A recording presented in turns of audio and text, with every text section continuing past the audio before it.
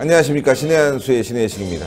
문재인 대통령이 단도미사일이라는 발언을 해서 논란이 되고 있습니다. 단도미사일. 있지도 않은 미사일이죠. 왜 이런 실수가 계속 나오는지 한번 알아보겠습니다. 우동균 기자 나와 있습니다. 안녕하십니까. 단도미사일. 네티즌들이 많이 조롱하고 있죠? 네, 그렇습니다. 한번 그 이야기 전해 주십시오. 네. 그 지금 단도미사일이라고 해서 많은 그 조롱을 받고 있는 상황인데요.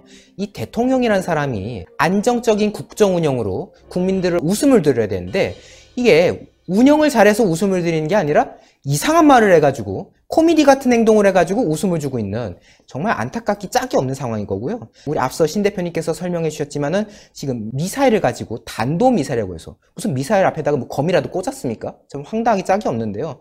그 이와 관련해서 지금 저희가 자료 화면이 또 준비되어 있기 때문에 네, 이 보시면은 다음과 같습니다. 5월 21일 군 주요 장성과의 오찬 간담회가 있었습니다. 이 자리에는 주한미군 사령관 등 미군 관계자들도 같이 있던 자리였는데요. 이런 말을 합니다. 최근 북한의 단도미사일을 포함한 발사체의 발사에 대한 대응에서도 아주 빛이 났다 생각한다. 뭔 대응을 잘했는지는 잘 모르겠습니다만 어쨌든 음. 대응은 잘했다고 하는데요. 예. 여기서 지금 조롱받는 게 단도 미사일입니다. 예. 단도 미사일이 뭐지? 라는 이제 반응이었던 건데 심지어 과거에 그 두 번째 미사일 발사 당시에 불상 발사체가 발사됐다라고 해가지고 이 또 이렇게 조롱을 받았지 않습니까? 예, 패러디를 다 올렸군요. 그렇습니다. 당시에 불상을 쐈다고 해가지고 이제 패러디도 당했었는데 이 네티즌들이 참 반응이 빨라요. 이 이후에 이 단도 미사일이라고 하니까 사람들이 또 이렇게 만들었습니다. 단검을 단도를 이렇게 가운데 딱 넣어가지고 네, 단도 미사일. 혹시 이게 단도 미사일이냐? 라고 조롱을 받는 상황이었거든요. 예, 네, 재밌는데 단도 미사일. 웃기기 짝이 없는 거고요. 네. 아니 이게 참 웃긴 게 이렇습니다. 군 당국은 여전히 지금 북한 발사체의 그 재원이라던가 왜 발사했는지 그런 배경에 대해서 여전히 지금 분석 중이라고 하는 상황이거든요. 예. 그러니까 명확한 입장이 없는 상태예요. 음. 근데 사전에 준비된 원고에는 단거리 미사일이라고 분명히 써져 있었는데 예. 이걸 가지고 단도 미사일이라고 말했다는 거군요. 음. 이제는 A4에 써진 것도 똑바로 못 읽는 것 같아서요. 옛날에 A4라도 보고 말했는데 이제는 A4에 써진 것도 이제 좀 헷갈려 하시는 거 아니냐. 어. 그래가지고 청와대에서 이 논란이 되니까 또 부랴부랴 이거 말실수다. 음. 단순 해프닝이다. 이렇게 해명은 했습니다만은 내부적으로 그렇지 않을 수도 있겠다라는 게 지금 왜냐면은 이 북한의 미사일을 두고 이게 탄도 미사일이냐 아니냐 이게 또 문제지 않습니까? 네. 근데 이 단도 미사일이라고 했던 발언이 단순한 실수가 아니라 어쩌면 이미 청와대 내부에서 단거리 탄도 미사일로 음. 보고 있는 건데 괜히 이거 탄도미사일이라고 규정을 하면은 음. 남북 대화라든가 북미 대화에서 뭔가 그 평화적인 분위기를 못 끌어가니까 그렇죠. 그래서 이거를 그냥 말실수다라고 무마한 것이 아니냐 이제 그렇게 음. 주장했던 거고요. 네. 실제로 거기에 대해서 근거가 되는 게 이 다음 자료가 또 있는데요. 네. 이 문재인 대통령이 그 취임 2주년을 맞이해서 KBS와의 대담이 있지 않았습니까? 네. 이 자리에서 이런 말을 했습니다. 비록 단거리라도 탄도 미사일이라면 유엔 안보리 결의 위반 소지도 없지 않다라고 음. 해서 탄도 미사일이라면은 이건 유엔 안보리 위반이다라고 본인 어. 입으로 말했거든요. 예, 예. 근데 어제 그 자리에서 단도 미사일이라고 말했는데 음. 이것이 만약 탄도 미사일을 잘못 말한 상황이었다면은 청와대도 이미 유엔 안보리 제재 위반을 했다 북한이 예, 예. 그렇게 인정한 꼴이 되는 거잖아요. 그렇죠, 그렇죠. 그러니까 이게 참 난감하기 짝이 없는 상황이 된 것이죠. 예. 그래서 야. 이 나경원 한국당 원내대표도 이런 조롱을 합니다. 말실수인지 내심이 나오다 말씀이 엉킨 건지 맞아. 참 여러 생각을 하게 되는 발언이다 음. 라고 해가지고 따끔하게 비판을 한 상황이었습니다. 예, 내심 이게 중요한 것 같은데요. 속마음이 드러났다 그거 아니겠습니까? 지금 단도 미사일이라는 게 탄도 미사일이라고 얘기하려다가 본심이 드러나는 거죠. 사실 단거리 미사일을 단도 미사일이라고 얘기하기는 좀 어렵거든요. 그렇죠. 예. 단거리 그죠? 탄도미사일은 단도미사일로 잘못 봐서 실수하거나 머릿속에 있는 게 잘못 나왔다거나 할 수 있는데 어쨌건 말이죠. 머릿속에 탄도미사일, 단도미사일이라고 실수하기도 좀 어렵거든요. 이런 실수 왜 하는지 모르겠어요. 그렇습니다. 이미 주한 미군 같은 경우도 북한의 이번에 미사일을 단거리 탄도미사일로 지금 사실상 잠정 결론을 낸 상황이었거든요. 예, 예. 근데 이 대통령을 비롯한 이 청와대 사람들은 부정을 하고 있는 거지 않습니까? 예. 뭐 부정이라기보다는 단거리 미사일이다라고 하면서 마치 이게 탄도는 아니 아니다라는 뉘앙스로 계속 하고 있는데 음. 이게 본심인 건지 아니면은 이제 A4를 똑바로 읽을 수 없는 지경이 이런 건지 참 이제 난감한 거고요. 예. 이거 관련해서 네티즌들이 많은 조롱을 했다는 건데 네. 이 내용을 한번 보시죠. 네, 내용 보겠습니다. 이게 모 커뮤니티에 이런 글이 올랐습니다. 제목이 이렇습니다. 이건 저희 뜻이 아니라 제목이 이런 거예요. 네. 대통령님 침해 킹리적 갑심, 합리적 의심이라는 겁니다. 음. 이게 뭐냐면요. 이 단도 미사일이라고 한 그 발언 이후에 그 고민정 대변인이 이렇게 역으로 물었다 합니다. 음. 혹시 탄도 미사일이라고 말씀한 것이 맞나요? 라고 물어본 거예요. 이게 왜냐면은 음. 탄도 미사일이 아니라 원고상에는 단거리 미사일로 돼 있는데 네. 정정을 이제 옆에서 해준 거죠. 네. 혹시 탄도 미사일이라고 잘못 말씀하신 거 아니에요? 이런 식으로 뉘앙스를 이제 말을 한 건데 문재인 대통령 답변이 아주 예술입니다. 제가 그랬나요? 본인이 뭔 말인지 기억을 못 하는 거예요. 어. 본인이 단도미사라고 했는지 뭐라고 했는지 모르던 어. 거거든요. 그래가지고 이것 때문에 이 사람이 앞에서 한 말을 기억을 못 하는 게 이거 침해 아니냐라고 어. 이제 네티즌이 이제 어. 좀 장난 섞어서 이제 조롱을 했던 상황인 음. 거고요. 사실은 이게 단순히 문재인 대통령의 말실수가 이번 한 번이 아니거든요. 예, 예. 지난 대선 기간 중에 어떤 발언을 했는지 저희가 또 알아봤는데 참 여러 가지로 사고를 많이 치셨습니다. 예. 그 자료를 저희가 또 보여드릴 텐데요. 가령 이렇습니다. 바른정당 대선 후보로 나왔던 유승민 후보를 두고 유시민이라고 앞에서 말한 상황이 있었고요. 또 이제 당시에 국정농단이니 뭐니 해가지고 이재용 부회장이 고생을 많이 했지 않습니까? 예. 그 중에서 이재용 부회장을 가지고 이재명이라고 말하는 게 있었고요. 더 히트가 뭐냐면요. 예. 본인 이름 문재인을 문재명이라고 말합니다. 도대체 머릿속에 무슨 생각을 하셨길래 어. 뭐 갑자기 뭐 이재명 도지사라도 떠올렸는지 그건 모르겠습니다만 본인 이름을 문재명이라고 말합니다.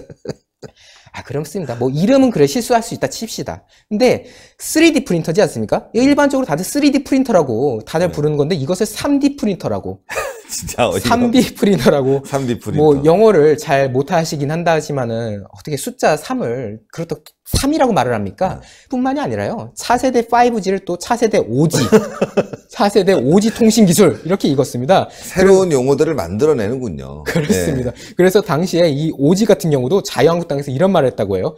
5G는 인적이 드문 외딴 지역을 말하는 거 아니냐? 어?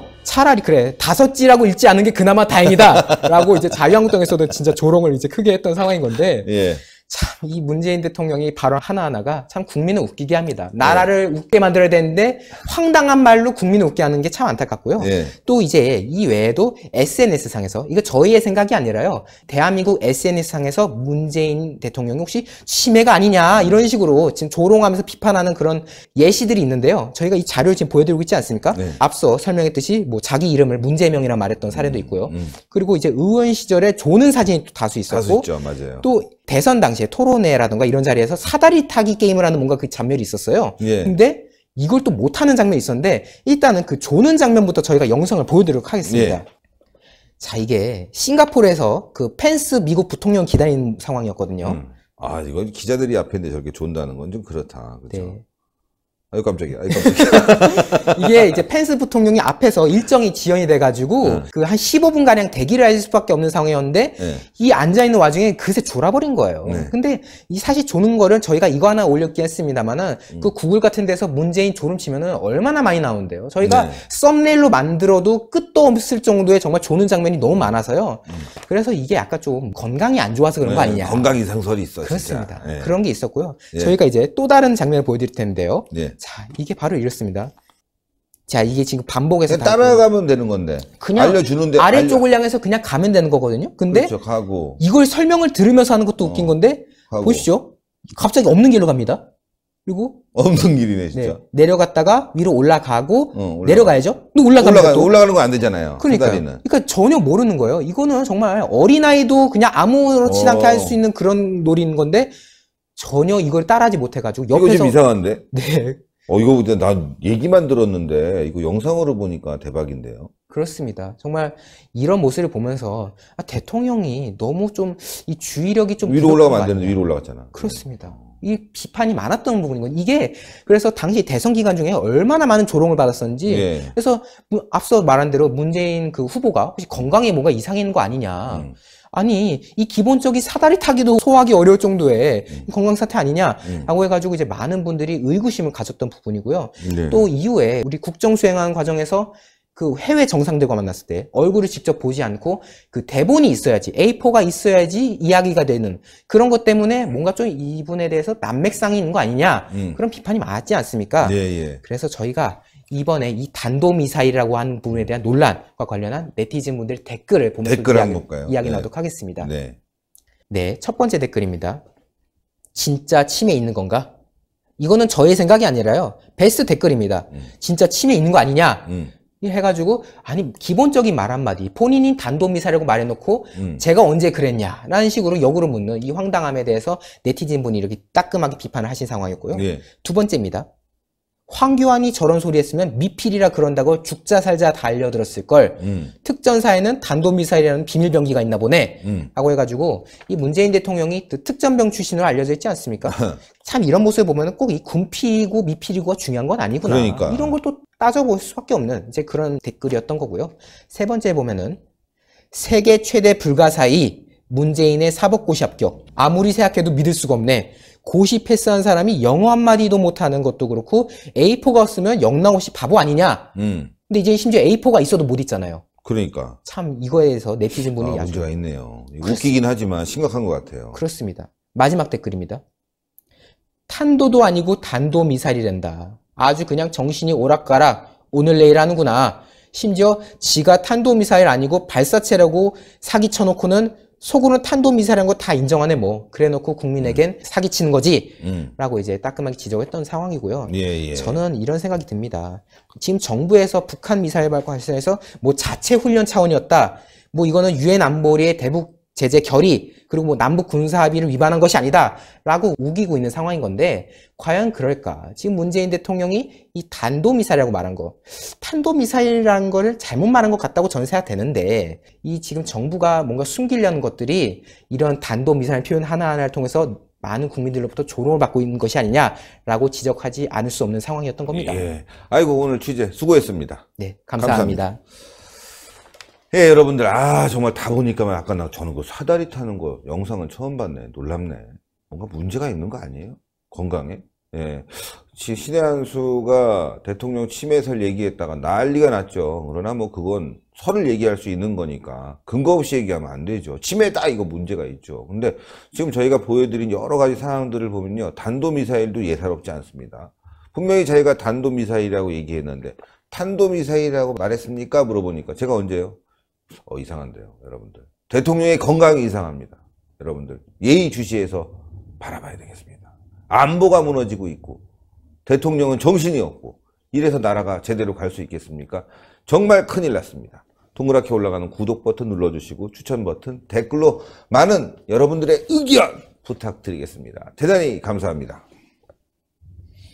수고했습니다. 감사합니다.